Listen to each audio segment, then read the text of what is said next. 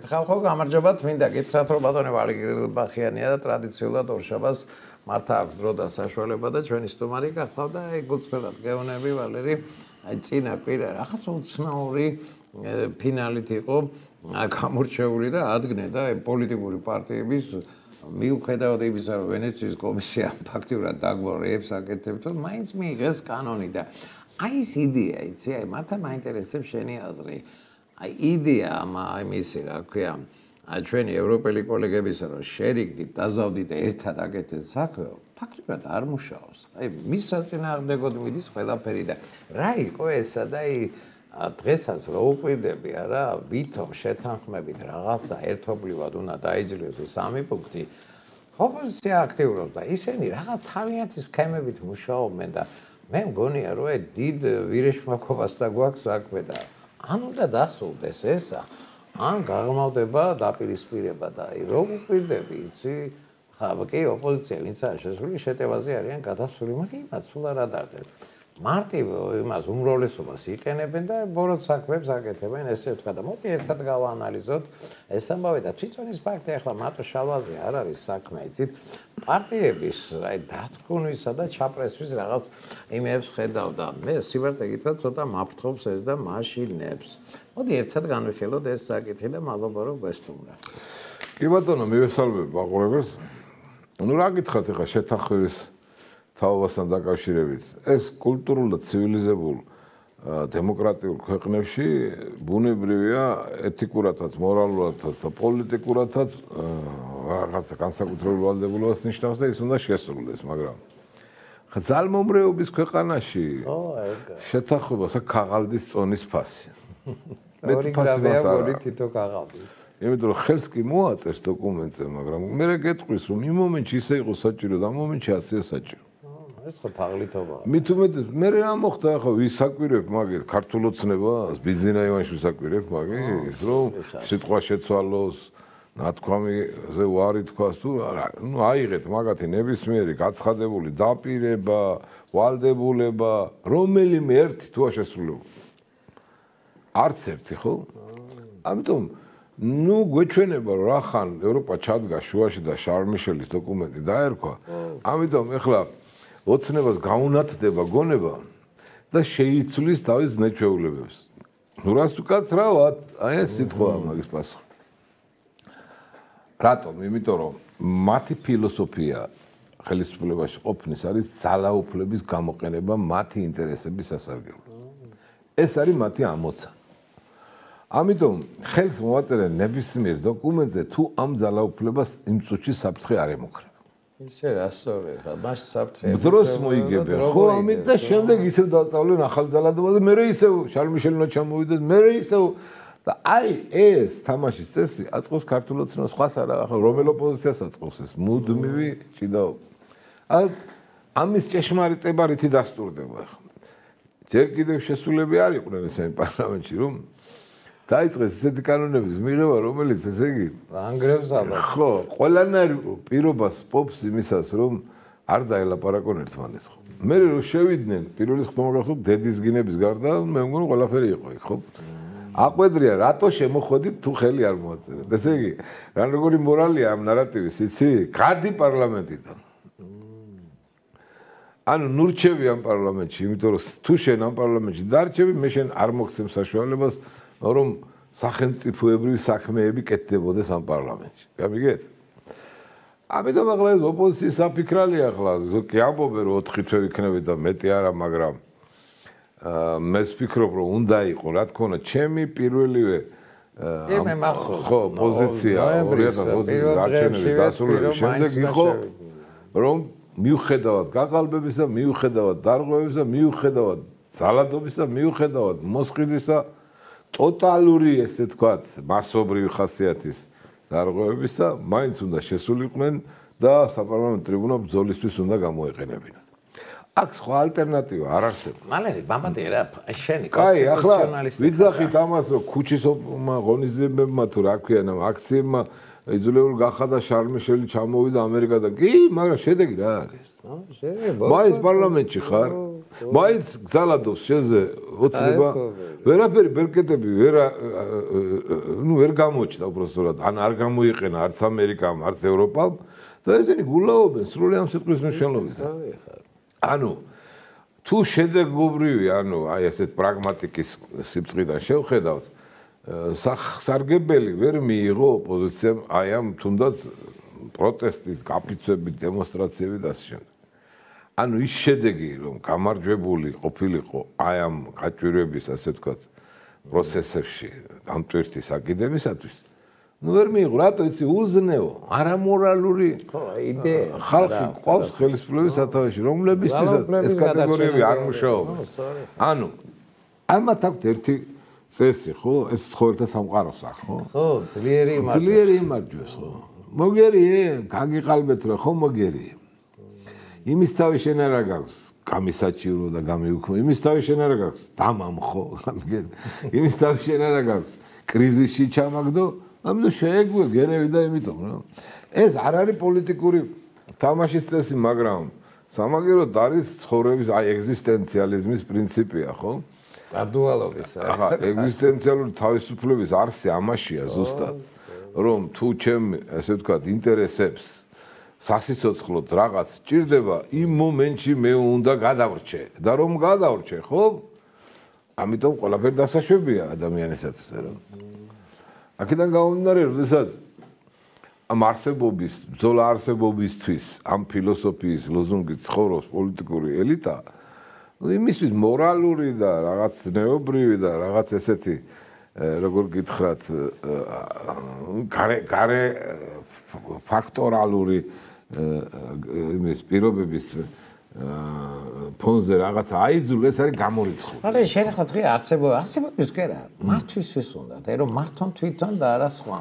შენ სხვათა შორის არა არა სხვა რა არის არა სხვა კაცი ეს ოპოზიცია არა სხვა კარაკტერი პენტან ერთად არა. ვირიქით ეს ეს თემა რომ ნეპოტიზმი მე ნეპოტიზმი არის 9 წელი გამეფებული ქვეყნის მართვის მეთოდიკაში რას ნიშნავს რომ საკადრო რესურსები პროფესიონალური ნიშნით არ ირჩევა? დათესავებით და მეგობრებით ირჩევა არა იმიტომ რომ ამით რაიმე ეფექტზე ან არა ეფექტზე იმოქმედებს მათი საქმენა, იმიტომ რომ ისინი არიან ერთგულები იმისა, რასაც უფროსები აკეთებენ. და უფროსები აკეთებენ დანაშაულს. ვალერი დანაშაულზე უცბად გამახსენდა. ახლა კობახიძე რო არის. ასე ცივსისხლიანთა ისა რაღაცა ჯოგია ესეთი ადამიანებისა. დაუყიდი რა. მამამის 500000-ად უყიდია ნაკეთი წკნეთში. რატო გიკვირს? არა, არა, ერთ წელს ქუმსიშვილისგან იყიდა. გადამალეს, გადმომალეს, მაგრამ ეს ხო კრიმინალია, ვალერი. ბატონო დავით რატო გიკვირს თქვენ დამისახელეთ ერთი თანამდებობის პირი ქართულ ოცნებაში რომელსაც დიდი ქონება აქვს ნაშოვი და რომელიმეს თუ აქვს რაიმე საბუთი ფულის წარმოშობის თავი. ბიზნესი არავის არ აქვს, ვითომდა რა ვიცი. ეს პოლიტიკური ელიტა არის, ვერ ნახავ იქ ადამიანს, რომელსაც დიდი ქონება არ კონდეს. კი, მაგრამ ამ 8 წელიწადში აქვს ყველას ნაშოვი. შენ მე მახსოვს ანუ ახლა ერთეულის კობახის მამა იქნება გელბახიანს პეტრიაშვილს ამას მნიშვნელობა არ აქვს იმიტომ რომ ეს მასობრივი ხასიათს ატარებს. პირველი ანუ ყველა მოდი ასე დავარქვათ ყველა ყველა ჩაძირული ქურდობის ჭაობში ყველა პარავს სახელმწიფოს და ხალხს. ბიუჯეტს ითრევენ თვითონ და ინაწილებენ და რატომ არის ბრძოლებენ და რატომ ითაკილებენ არაზნეობრის როდესაც ამით ამით არსებობენ ეს თუ დაკარგეს არა მარტო სკამს კარგავენ ბატონო დავით. კარგავენ ქონებასაც და შეიძლება თუ მოას ვერ მოასწრეს გაქცევათ ციხე შემოყოს ყველა თავი და ეხა ეს ადამიანები რომ ნებაყოფლობით არ დაგნებდება და შარმიშელის ნათქვამზე რა თქმა უნდა გესტაპეტით არ მოგართვებს ხელისმულობას ამას ლოგიკა რა სჭირდება? ამ ხალხთან საჭირო არის კომპრომისო ბრძოლა. მეტი არაფერი და. აი ხა დღეს მამაკაცოს მე ხაზარა და თბილისში 60% მოვიგეთო ჩვენაო თბილისი ყველაზე ძლიერი ის არის რა ესე. იო ყველა თავის სამრეკლოდან თulis ახლა ბატონდად რა არის? იმას კი ვერაც ნობიერებენ რომ სანამ ეს ჭირი საქართველოს თავზე აზის საკუთარი ინტერესი დასავიწყებელი. ამას ამას ამის გაცნობები რომ არც ერთ პრობლემას არ პრობლემა იყო წინა წელს და ეხლაც რა. ახლა ისეთი მერი უნდა ავირჩიოთ, გაიგე? ხო და ეს განცხადება გააკეთა ლელო. მიხედავთ იმისა რომ ლელოში ახლა მე არ არის ადამიანი, რომელსაც პატივს არ ვცემდე პირველად, ხო? ვერ ვგებულობ ერთ რამეს. რა პოლიტიკაა ეს? ბატონოლები. აი ეგევე შენაგვაც რა პოლიტიკა არის? ახლა გამოძე გამოძე. არა, ვიღაცა ბიზნესმენი უკვე ალბათ ჩერჩეულია. ეგ წინა პირასაც ითქვა, იმაზეა საუბარი ის რო არის. მე არ ვიცი ვიზეს. აი ეს ჭონიაზეა. არ ვიცი ნამდვილად ვიზეა საუბარი. ისა კიდე ზაზა ხატიაშვილი არის, რამდენიმე პარტია ზაზა ხატიაშვილი წაა. ხო, პასე შეიძლება თქვენს დაგასახელონ, მე დამასახელონ, ბოლოს შეირჩევა ის, ვინც მათ უნდათ, ხო ასე? ვის, ვის? აი, ვინც არის ინიციატორი, ხო? ასე, ძირითადად ახლა პარტიული. ამიტომ მოდი ახლა, მოდი ეს საკენკი, მოდი ეს მარტივად ვიტყვი რა, ეს საკენკი გადაუყარეთ ვინც ჭამს. პოლიტიკაში ამ საკენკს არ ჭამენ და ეს იცოდეთ ყველამ. ვინც იქნებით, ლელო იქნებით, აღმაშენებელი თუ სხვა პარტიები. იმიტომ რომ თუ არის სტრატეგია რომ ხელისუფლება შეცვალო, დაივიწყე საკუთარი. დღესაც ამბობენ ჩვენ ჩვენი ხმები უნდა ავიღოთო. დაივიწყე. ეს დაანგრევს. თუ ვერ დაივიწყებ ამას, რომ შენ შენი გაქვს მისაღები, მაგ შენს ვერ მიიღებ და რაც მიიღე, თუ იმით ხმართ, ყაყოფილი რომ სამსამი დეპუტატი გყავთ, ნამცეცები. ეს ქვეყანას ვერაფერში ვერ წაადგა, ფული ბლომად დახარჯეთ ტყვილად.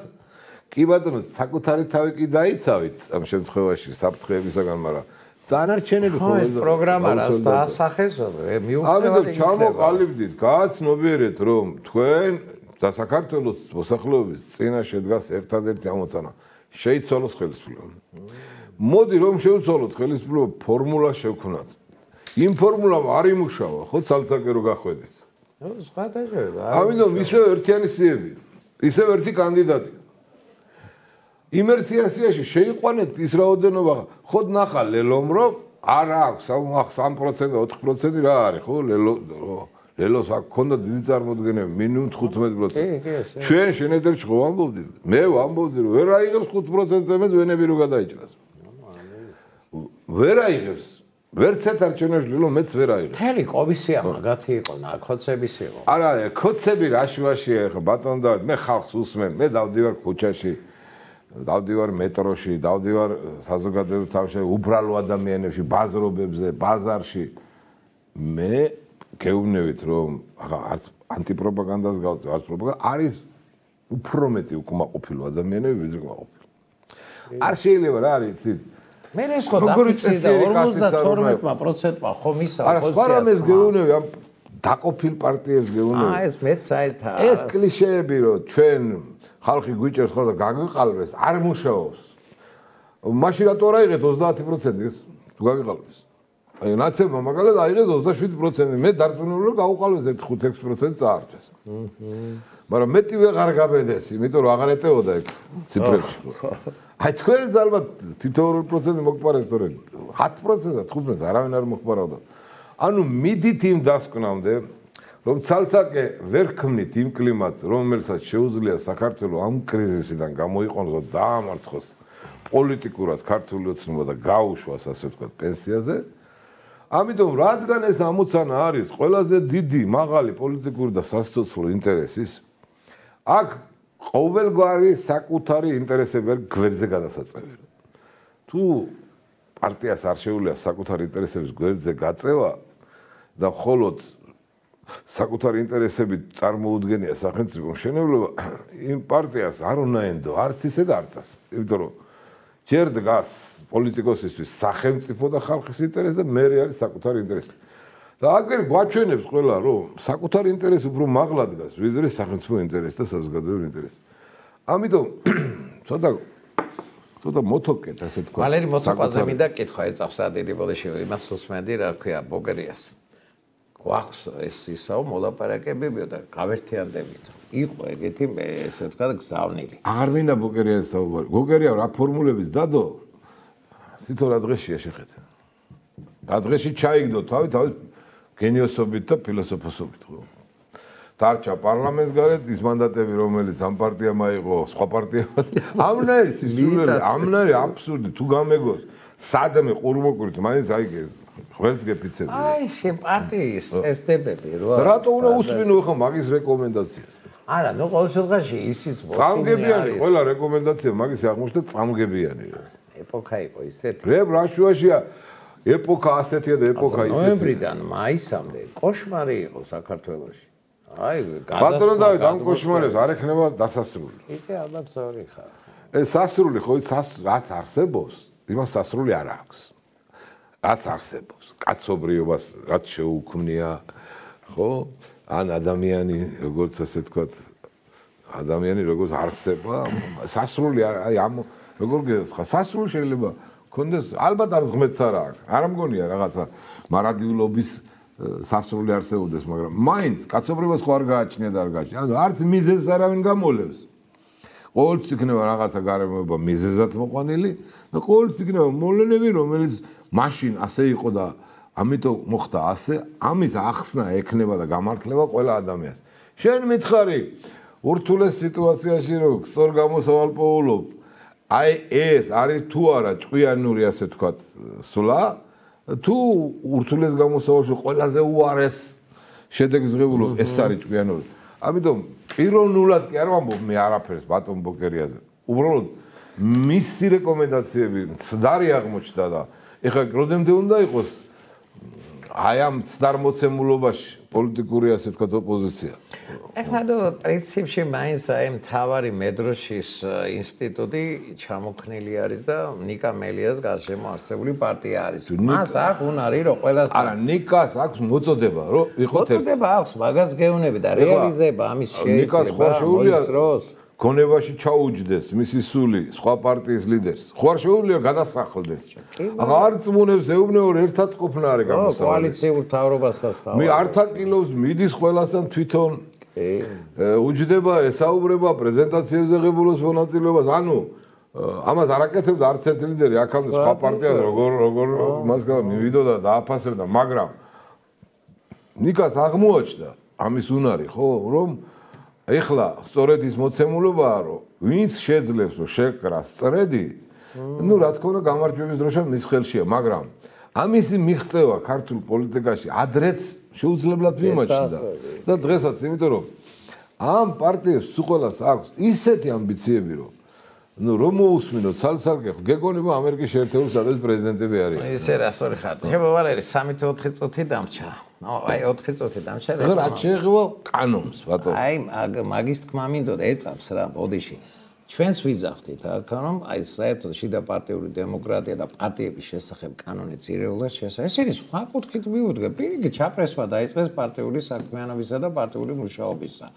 კონსტიტუციური გარანტია არის, რომ ძალაუფლებას იღებენ პარტიები, პოლიტიკური პარტიები, ესე ვთქვათ, არჩევნებში მონაწილეობით. აი ეს არის ადრე არ ეწერა ეს კონსტიტუციებში. და ახალ კონსტიტუცია, ახალ რედაქციით უბრალოდ გამოცემულ კონსტიტუციაში უკვე წერია, რომ პარტია არის აა პოლიტიკის, ასე ვთქვათ, საფუძველი. ჩამოქნელი და ესე ვთქვათ, განმახორციელებელი. ანუ ორგანიზაციის საშუალებით ხდება ხალხის პოლიტიკური ორგანიზაციის განხორციელება ხდება პარტიების მეშვეობით. ეს პოლიტიკური ორგანიზაცია არის არჩევნების შედეგად შექმნილი პარლამენტი მთავრობა და ასე შემდეგ. ხო? ამიტომ პარტიის როლი უკვე ფუნდამენტი გახდა ამ სახელმწიფოს იდეალურად აწყობილია ანუ კონსტიტუციურ პრინციპად გამოცხადდა რომ პარტიები ქმნიან პოლიტიკას ეს ჩვენმა სახელმწიფო კონსტიტუციურად აღიარა. საპარლამენტო რესპუბლიკა ეს უფლება, ეს უფლება გახდა ფუნდამენტური კონსტიტუციური უფლება. აქედან გამომდინარე, ამ უფლების კანონით, ასე ვთქვათ, პინგ-პონგის გადათამაშება არის შეუძლებელი. რახან ეს თავისუფლება მიენიჭა პარტიებს, რომ მათი არჩევანით ხდება ფორმირება ხელისუფლებისა, ხო? ანუ უყურეთ რა ფორმულა მივიღეთ, ხალხი ხელისუფლების წყაროა, პოლიტიკური წყარო პარტიები. ესე იგი ხალხი პოლიტიკური პარტიების მეშვეობით აფუძნებს ანუ უკვე შემოვიდა ახალი სეგმენტი ასე თქვა პოლიტიკურ ასე თქვა სისტემის კონსტრუქციაში.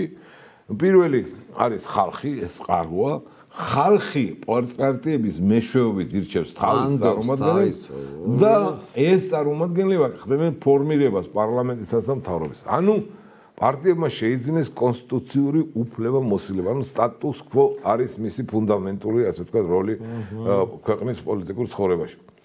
აი აქ უკვე კანონით შეზღუდვები, კანონით ასე ვთქვათ, მიჭრა, მოჭრა, მაგრა პრინციპი პარლამენტში უკვე არ ყვევს ამ პრინციპს. აი, გინდა, ვერ ხდება. ეს პრინციპი, რომ პარტიების თავისუფლება განსაზღვრავს დემოკრატიულ ხარისხს ქვეყანაში, თუ კანონით იქნა ასე თქვა შეზღუდული, რა თქმა უნდა დემოკრატია იზღუდება და არა პარტია. ეხლა რაც გააკეთეს ამ შემთხვევაში მე ხა ნათელაშვილისთვის გააკეთეს პეტრიაშვილისთვის ამას არ ვიხილავ. მომავალზეა გათვლილი ესა და უბრალოდ საშიშია ვამბობ რომ ეს ძალადობაა აი რისი ძალადობა იყურეთ? ეუნერიან პარტიას რომ შენი ბოიკოტი მე არ მაინტერესებს და ამ დროს რეგლამენტში წერია ძალიან გასაგებად რომ ყველა პარტიას თუნდაც მანდატი ქონდეს პარლამენტის უფლება გავიდეს ბოიკოტის რეჟიმზე წერია ეს ეს მისი ლეგიტიმური უფლება. ნორმა ხო? ანუ თუ პარტიას უფლება აქვს პროტესტის ნიშნად არ მიიღოს საპარლამენტო ცხოვრებაში მონაწილეობა მაშინ კანონით რატო შემოგაკ მეორე მისი საწინააღმდეგო იძულების მექანიზმი? იძულების მექანიზმია რომ თუ არ შემოხვალ პარლამენტში მანდატის მფლობელი პარტია მე შენ არ დაფინანსებას გაძლევ, არც ხელფას არ გიხდი ამ მანდატისთვის. არც კომისიის წევრ გაძლევ. სამომშელოთა უშუალობის პერსპექტივას გაძლევ, ანუ ანუ კლავ რა ეგა. არა, გეძალადები, მოდი ასე ვთქვა. ჩემ ძალაუფლებას ვიყენებ შენ წინააღმდეგ. ვარღვევ კონსტიტუციას, მაგრამ წადი და მიჩივლე. დაახლოებით ეს რა თქმა უნდა, იჩივლეს ალბათ შალვანთლაშვილი საკონსტიტუციო სასამართლოში, იმიტომ რომ მიმაჩნია რომ პირწმინდად ანტიკონსტიტუციური ნორმა, პირ კანონია, პირწმინდად, იმიტომ რომ პარტიების თავისუფლების პრინციპს არღვევს ეს. ეს არის შეზღუდვა პარტიების. ეს არის ჩარევა სახელმწიფოსი პარტიულ საქმიანობაში. პირდაპირ უხეშ ჩარევა, როგორც ბიზნესში არ აქვს უფლება სახელმწიფოს ჩაერიოს, ისე არ აქვს პარტიულ თანაცხოვრებაში ჩარევის უფლება და ეხლა ჩარევა კი არ არის შეზღუდვა. და კანონიზალი მე რაც მთავარია? თუ პარტია აღიარებულია სახელმწიფოს მიერ პოლიტიკური სისტემის საფუძვლად. მაშინ მისი არსებობა სახელმწიფოს გარანტია ხო? სახელმწიფო უნდა უზრუნველყოს მისი არსებობა. და შენ წყაროს უკეტავ პირდაპირ და ებრძვი უკვე ამ თავისუფლებას ანუ მრავალი წახნაგი აქვს ამას ანტიკონსტიტუციურობის და. მე მგონია რომ ახლა თუ ჭვაზეა საკონსტიტუციო მოსამართლეები არ დაუშვებენ ასეთ რაღაც ჩარევებს რა ვიცი, ყოველთვის დემოკრატია უნდა ცოტა მყარად იდგეს. მე აი ახლა რა არის, რომ ნახე ის კადრები, ეს ის შენც ის რომ მაგიმას გიას კაცო ის ამ იმის მამას ნახევარ მილიონად მიწას აზრევა კონტრიბუცია რა ესე კიდე ასე ასე რო როგორ აღა შენ არ გაგიგია ბატონო და ერთ ლარად მილიონიან 10 მილიონიან ქონებას. ერთ ლარად კი მიშა რო ისახლა. მიშა ბიზნესია საუბარი ერთ ლარად და მთელი ესე იგი თბილისის ნახევარი წაღებული ერთ ლარად ხო და ამა ახლა თქვენ გიკვირს რომ იმა რატო იყიდა რაც ქონა ფული როგორ ქონდა კარი ამ ერთ ლარიანს მე გაყიდიან 10 მილიონად, 20 მილიონად, 30 მილიონად და გახდებიან მილიონერები. ასე ხდება ესა. შარშან იყო შარშაცი კალაძე ვიღაცას ხომიცა 10000 გექტარი რა. მე იმან ერთ ლარად მიცა ინვესტიციები. მე იმან გაყიდა 12 მილიონად რა. ეს კომბინაციები, ეს მაქინაციები, არის ამათი ხერხი და მეთოდი, როგორ გახდნენ მილიონერები. აი ეს უნდა იყოს ბერკეტი, რომ აი ზემოქმედება მოახდინო აი ამ იმაზე, შოლკი ამ ვიზე სისულელებს აკეთებენ, მაგრამ აი ახლა რაც მე ვისაუბრე, ობახიძე იყო ავტორი ამ ნორმის, რომ პარტიები ყოფილიყო კონსტიტუციურ დონეზე გარანტირებული. და იბრალებდა, რომ ესო დემოკრატიის უმაღლესი ასე ვთქვათ გამოვლინება. და თუ ამის ავტორი ხარ, ბატონო კობახიძე, მე შენ თვითონ ეს მაგრატელი რატო აიღე და რატო ჩამოჭერი ყურები ამას? ვერ ჩამოჭრია, ნახოთ, ნახოთ რა იქნება საკონსტიტუციო სასამართლოში, მაგრამ ისინი ზამთრად იგი გიგია შენ შვილს ყურები მოაჭრა რა. რა მე რა კოდი გოჭრა თავის. მოდი ჩვენ რეკლამაზე გავიდეთ თვალე და მათაც საინტერესო საუბარს ესე თქვა შეუდექი და გაიხსნას უნდა კვანძი. დაგველოდეთ ხალხო ერთხავე დაგებრუნდებით.